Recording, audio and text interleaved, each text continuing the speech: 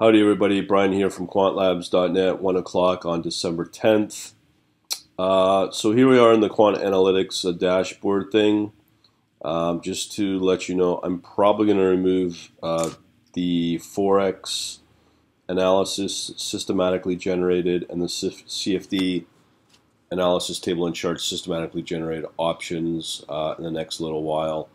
Just do that I'm not using either CFD or Forex any time, just due to the um, video I put out on Friday, just pertaining to the opportunities are just not there as compared to crypto. Um, so watch that video. All right, so when you go into the option here for cryptocurrency analysis generated systematically, here's the uh, details. So what we've got here is the most profitable. Um, we'll show you in a minute. DNT, BTC, Hot Ethereum, QKC, uh, Bitcoin, um, and then we have our ranking file. Then we also have our stop loss as well. Uh, and these are the targets that we can set potentially if they're worthwhile. What we need to fa factor in are the whipsaws. So I'm going to be going through that in greater detail. And uh, I haven't even looked at my uh, watch list here. Just give me a second here as I load that up in my Redis desktop manager. Uh, I'll probably add that in here on the watch list because that's the most probably important of all of these tables here. Um, so let's just do that first. Let's see what's on the watch list first. Uh, let me load. And then we want the watch list crypto. So here are the watch list. Now, the funny thing is, a lot of people will cry about how the cryptocurrency space is just getting clobbered, which it is. Here we're on CoinMarketCap.com. We're looking at 24-hour um, moves uh, of the entire space of the top 100. You can clearly see the amount of uh, red here. So a good chunk of these are negative. But what do you care? Uh, what we care about are the winners and the movers, uh, as you can see clearly in this list. Now, the difference between this and let's say six weeks ago is I was never logging and cross-referencing the current um, what's on the watch list against these whipsaws um, because we just remove everything that's uh, that's been recently on on this whipsaw list over the last six to eight hours, and um, we don't trade those because those are probably higher, probably higher risk of having a whipsaw to move against you when you open up the positions. So what we do here is now um, the best thing to do is to download these reports, which I'm going to show you. So these these reports are the detail of um, all the content here that you'll be able to get access to. So the first thing I like to do, just to get an overall consensus, see what's moving, are these movers here. Um, we have a variety of different movers here. We have um, this new Bitcoin Cash uh, SV against Bitcoin moving at 24%. These are hourly moves. DNT Ethereum is moving up at 22%. TUSD BNB is moving as well as TUS Ethereum. Now these are fairly unknown uh, cryptocurrency pairs to me, but as I get to know them throughout the remainder of the week, uh, we'll be able to see and understand the patterns and the nuances of these crypto pairs. So that's what's available. Those are what the movers are. But the other big thing I like to look at are the uh, is the volume of what is what what what is trading by volume on Binance because that's where we get this data from. So we want to look at our pie chart for the volume here. So here, um, this number three, the DNT is the big mover, uh, as well as this other one, TUS BTC is the other big mover as well. And then number five. Okay, so the top the top three clearly are DNT Ethereum at 70.87% volume, followed by TUSD BTC follow, and that's at 16.7%, followed by QKC Ethereum uh, at 6.2%.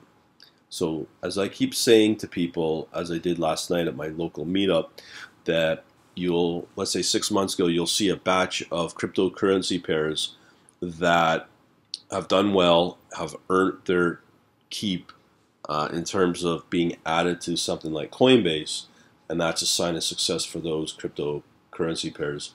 So what we have here is we have a new set of cryptocurrency pairs that are moving up up the ladder by volume and whatnot to uh, maybe get added to Coinbase, which will add the um, legitimacy to these coins. And you can clearly see that uh, since Friday, I'm seeing some winners especially this DNT Ethereum and TUS, the BTC, as uh, potential winners. So what a good way to do that is go back to CoinMarketCap and see if we have any of these pairs on. So let's see DNT, which is this district. Let's see what its ranking is um, right now or better yet, let me just see if it's in the 100, top 100. And uh, DS, that's that we're looking for uh, DNT, DNT. So it's not, it doesn't look like it's in the top. So district, yeah. So it does. I'm not sure. I don't. I don't think it's in the. All right, let me do it this way. I'll go over to Binance.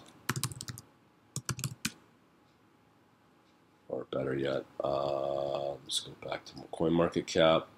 So we want D, so that's district 0x. Sorry if I got the pronunciation wrong.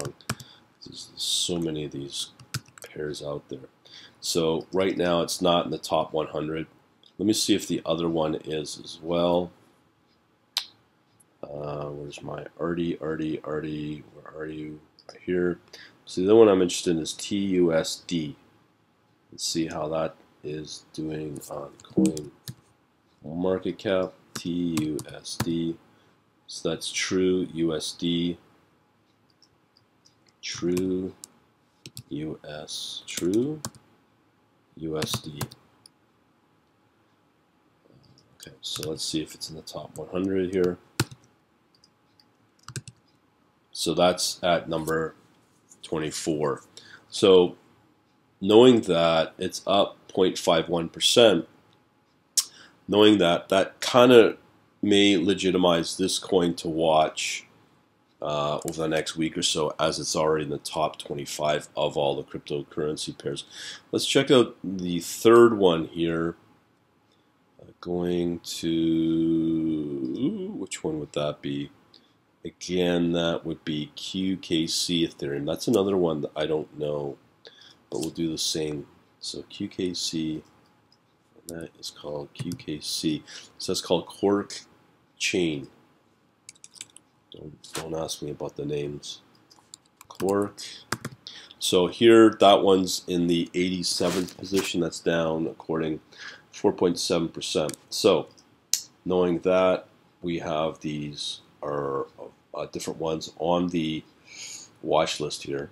Now there's two ways we can measure the potential of this. Uh, first, we can look at the reports here, the Word documents, or better yet, why don't we um, look at these charts here.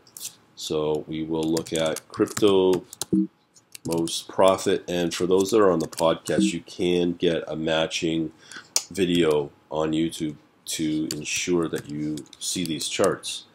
And that can be said for all all uh, of my podcast episodes. So what you can clearly see here is uh, these are hourly bars. So clearly right now we have a decent move up. So let me, knowing that, let me just pull up another process here um, to do the real-time chart or call it whatever you want, but it's minute by minute. So we'll watch that and I'll open up another one on the other um, chart as well on the other crypto just to see how the, the volatility is on this thing currently because those are pretty good moves. Okay. Oh, yeah, here. Right. So, so let me, we are going to do real-time chart on the pair of, what's it called? QKC BTC. Let's watch this puppy. Okay, so I'll load up that chart, and open up another chart as well. Let's see if I can, now, just to let you know, these are not stable. I have to kill off some, release some memory here by closing up some potential memory hogs here. Okay, so we've got the one chart. So here you see the chart on the one minute. Uh, it's clearly pretty volatile on the downside. This chart's very strange looking. Um, I can't say I've I've commented on Friday about EOS. It was just a very strange looking chart where it seems like the volume is not consistent, not enough volume to display the following minute bar here. As you can see here, there's been no moves, no moves here. Um, this is not, maybe it's not enough volume compared to, um, so anyways, none of that commentary because I don't know. So we'll do this one as well, and we'll look at the other potential guy, uh, Binance. So this is QKC BTC. just see what the so that's the quark that's quark chain at number 87. So the other one I'm interested in is uh, let me just see here. Uh, okay, so that's clearly so the other coin I'm looking wanting to look at is TUSD BTC. TUS. So we will look at uh, real-time TUSD BTC. So we'll have two charts here. Let's see what, what what's going on here. Um, okay, so this one, okay, a couple. So the volume looks okay. It's consistent. But again, we're currently in a flat lining position. A big down move here at uh, 4 p.m. This, so that's about two and a bit hours ago. Um, flat, flat. I don't know why the reports are coming back that this is a mover. Um, just kill that chart. The other chart, let me just look at the um, chart. Let me. Okay, I'm going to kill this. Let me just look at one more time at this other chart for the QKC there's just not enough volume here to really consistently have minute bars. So that's something maybe to watch overall to trade. Um, but uh, let's see, the other one was uh, DNTC Ethereum. But I want to look at the hourly chart for this QKC Ethereum. Open, let's see. LS PNG. So what we want to look at is Q. What was it? QKC. Yeah, this one right here. So we're going to look at those hourly charts, see what that reveals. Okay, so again, we, we looked at this one that had some good up moves, but somewhere in, in that space, it just, it was lit, it was flat. Okay, so we'll look at this last one here, the DNT Ethereum. Um, so that's crypto. So these are the the uh, hourly charts for this one. Ooh, look at that big bar right there. Uh, that's in the last hour. So that's clearly something to watch on a minute by minute basis as well. Real-time DNTC, BTC. So let's see what's going on with that one. Okay. So where is this uh, our, yeah, so this is our live chart here. Um, again, we are seeing some spurts of volume. You can clearly see here on this monthly chart here or a minute by minute chart we've had some up moves here that's a good that's a good spike that's what we look for here we're seeing some good activity here in the last five minutes. So we'll keep this open, but you can clearly see that there's been some down moves here, those little whipsaws. We had a move up here, but this is the sort of thing we like to see. But again, it's those little whipsaws that we just do not like. In that case, let me just read. So that's DNT. Um, that was the DNT BTC. Okay, so let me just check the um, whipsaw list here. Uh, so our last set of, so that would be DNT BTC. So this is why this, this I don't know, again, um, DNT BTC was not on the whipsaw list because those are those whipsaws are measured over by the hour. So now this is brand new what we're doing to be able to analyze everything on a minute by minute basis. If I had put on a position there would be a minute by minute analysis on this position for this particular cryptocurrency pair of DNT BTC. Thing though is um, now we're analyzing it and visually in real close to real time, but you can clearly see what we had here. Those little four uh, green bars, uh, we just got a red bar. So what I need to do is to measure these little whipsaws now um, because uh, if we had put on a position here, I think we would still be okay on the on the on the uh, on the position itself. A, a tiny, tiny, tiny profit on that whipsaw. So the question is, if we put on a position here, we had this up move. Now the question is, do we um, apply the ATR on that up move? We're happy with it, get out, or do we allow the system to keep trading right here um, and hang on to that trade, even though there's a whipsaw, but we got to measure on the direction on this point at this bar, will it continue to move down? So we have to measure that. The only way we can do that is either on the RSI, because right now our RSI is undervalued, as well as our momentum is just slightly negative. So we got to use those. I could also look on a minute by minute basis um, at other things like the candles. So here you can clearly see we had a wick and now it just it started to move up again. So again, we hang on to that trade. So these are the sort of things I'm going to be looking for over time to see where things go as I put positions on the watch list. Now, if you are familiar with how, we'll come back to this chart. Now, this is just for learning purposes. If you have um, known about my uh, his, his, historical uh, ways of trading, I used to have this thing called Risk On, a, a script called Risk On. Um, let me just make sure I get this. We'll, we'll come back to this in a minute. Uh, ls Python, it was called, there's test risk and risk on. Okay, so what I'm going to do is I'm going to show you two things. This is currently in real time. This will get the freshest data for the big, the biggest uh, crypto pairs out there. Or sorry, yeah, crypto pairs based upon um, volume. So right here, what we have are the moves of each of these pairs. So we have Bitcoin Cash, Bitcoin, Litecoin, Ethereum, and uh, Ethereum Classic.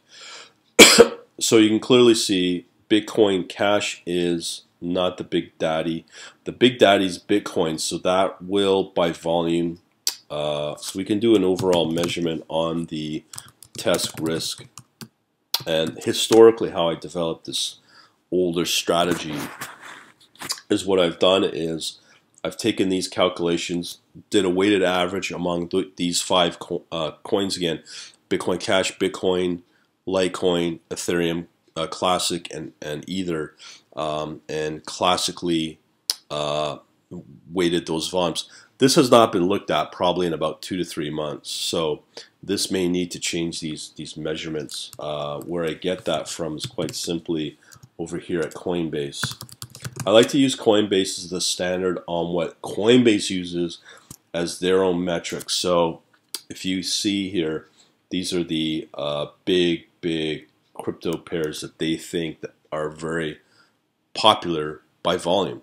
Uh, again, those are uh, nothing has changed here. Bitcoin, Ethereum, Bitcoin Cash, and Litecoin. But when you look at the uh, coin market cap by volume, where am I? Where is so we want? Guess I'll load up coin market cap.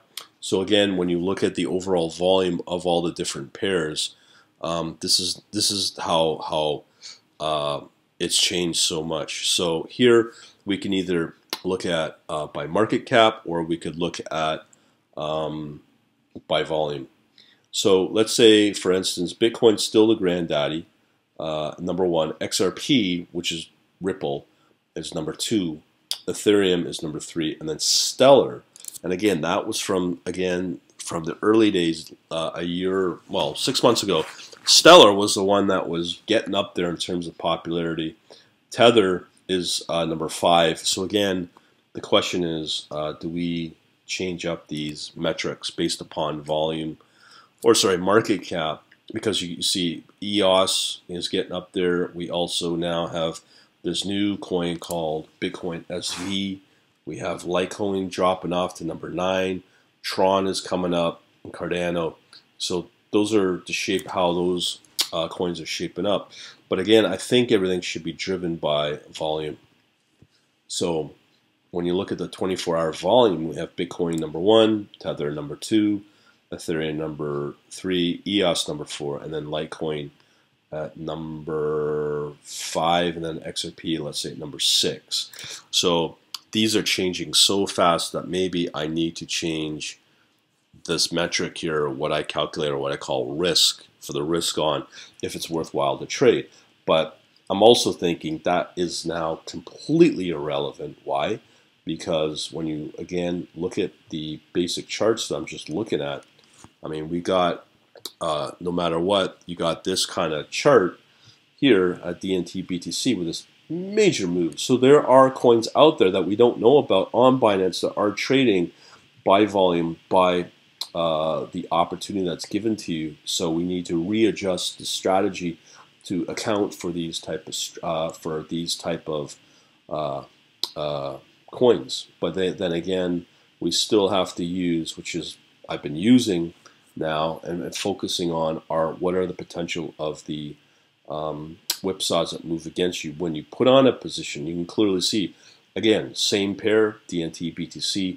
You can clearly see that this is a, is a very hard measurement to use because right now this may be the down the down uh, the the down coin, but there may be another coin that may uh, have moved up for better performance. And the best way to check that is by going over to the Binance chart. So you can see the new factors that we need to uh, calculate here and readjust the strategy to get optimal profit. But at the end of the day, no matter how you slice it, um, the big the, the the coin market cap and all the risk on and what's what's trading and what's what's driving up uh, the overall asset class of crypto is what to, seems to me is being irrelevant because there will also be other coins that are doing quite well and as I said, the one way to determine that is by volume. Volume, like where where, where are people trading, especially on something like uh, Binance. So let me just show you uh, those charts again. So what I'm speaking of is again these uh, this this pie chart that I showed earlier. So I may need to readjust the overall strategy to accommodate these newer coins that I've not seen before, but are clearly movers. Um, and uh, we got to account for those. All right, so that's pretty well it. Um, we're in the early stages of readjusting everything based upon what we're analyzing, the new uh, real-time minute-by-minute chart that I've got, which is going to be very, very helpful in this analysis to be able to readjust these uh, strategies and outlook.